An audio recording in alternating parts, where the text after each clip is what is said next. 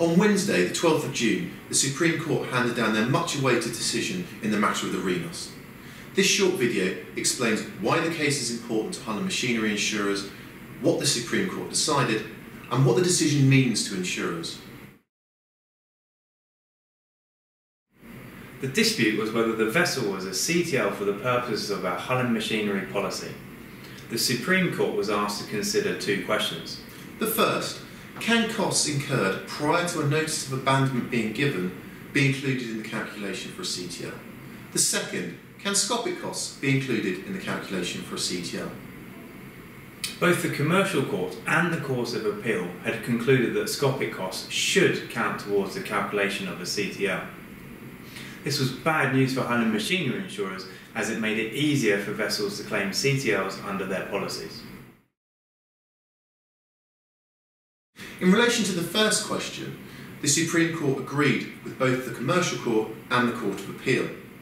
They agreed that the costs of repairing the damage to the Renos for the purposes of section 62.2 of the Marine Insurance Act included all reasonable costs of salving and safeguarding the Renos from the date of the casualty as well as any prospective future costs in repairing it. In considering whether scopic costs should count towards the calculation of a CTL, the Supreme Court distinguished Article 13 salvage costs, which are to preserve the vessel, and Article 14 or scopic costs, which are intended to prevent environmental damage. The Supreme Court said that because scopic costs are not intended to preserve the vessel, they should not count towards the calculation of a CTR. The part of the decision related to Scopic will be welcomed by marine property insurers and reflects the existing market practice. Whether it's quite right to characterise Scopic as solely relating towards pollution response is up for debate.